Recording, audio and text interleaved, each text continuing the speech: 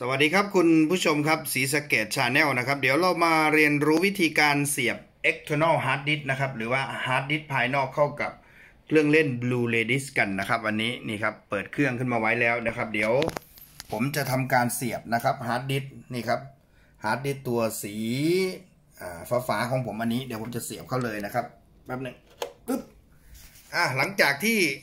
เสียบเข้าไปแบบนี้นะครับ มันก็จะ ไฟในฮาร์ดดิสก์ก็จะเริ่มติดนะครับ แล้วก็มันก็จะขึ้นมาแบบนี้นะครับ USB มันก็ขึ้นมาแบบนี้มันก็จะมีให้เราเล่นดนตรีหรือภาพยนตร์นะครับ เราก็จะเลือกภาพยนตร์นะครับ ก็กด enter เข้าไปได้เลยนะครับ เมื่อเราเสียบมันก็จะขึ้นแบบนี้นะครับ ทีนี้เราก็หาไฟล์หนังที่เราเก็บไว้ได้เลยนะครับ อย่างเช่น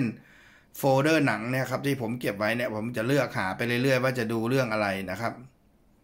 อ่ามาดูกันนะครับว่า เราเก็บหนังเรื่องอะไรไว้ไหนเนี่ยผมจะมาดูนะครับว่าเดี๋ยวผมจะหาเรื่องไทยบ้านนะครับ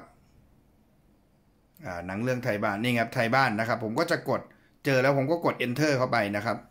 กด enter เข้าไปแล้วมันก็จะเล่นนะครับ เดี๋ยวเรามาดูกันนะครับนี่ครับเล่นแล้วนะครับ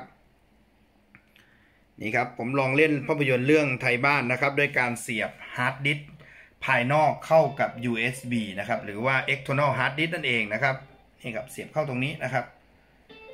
ก็เล่นได้ปกตินะครับ คุณผู้ชมครับ นี่ก็คือ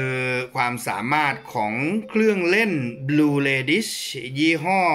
LG นะครับ นี่คือ LG Blue r a d i s BD 620นะครับ ตัวนี้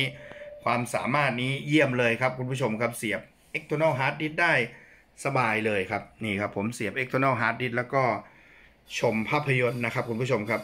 ผมกำลังทดสอบนะครับนี่ครับ ก็ใช้ได้ปกตินะครับคุณผู้ชมครับ ถือว่าสุดยอดนะครับ ใช้ได้ปกติเลยเสียบ external hard disk ไม่ต้องใช้แผ่นนะครับ เวลาเราดูหนังเนี่ยครับ เวลาเราดูหนังเห็นไหมครับนี่ไม่ต้องใช้แผ่นได้เลยนะครับ ไม่ต้องใช้แผ่นเห็นไหมครับ ไม่มีแผ่นนะครับอ่าแล้วก็ดูผ่าน external hard disk ตัวนี้ได้เลยนะครับ เมื่อกี้มันกำลังเล่นอยู่ผมกดถาดออกมันก็จะหยุดไปนะครับ แล้วก็เข้ามาดูใหม่ได้เลยที่ ภาพยนตร์นะครับ แล้วก็ USB เห็นไหมครับ ตรงนั้นคำว่า USB ก็ enter เข้าไปนะครับ enter เข้าไปนะครับ ก็จะเจอไฟล์หนังนะครับเนี่ยไฟล์หนังเยอะแยะเลยนี่ไฟล์ไฟล์ภาพยนตร์เก่าๆก็มีนะครับอ่าเดี๋ยวผมจะพาไปดูอะไรครับ เฉินหลงเนี่ยหนังเฉินหลงก็มีนะครับ หนังเก่าๆอ่าไหนลองดูสิดูภาพยนตร์ของเฉินหลงนะครับนี่กำลังอ่านนะครับคุณผู้ชมครับนี่ครับ ก็มาแล้วนะครับ ก็สบายสบายนะครับ ไม่ต้องซื้อแผ่นแล้วถ้าเรามีไฟล์ภาพยนตร์นะครับอะ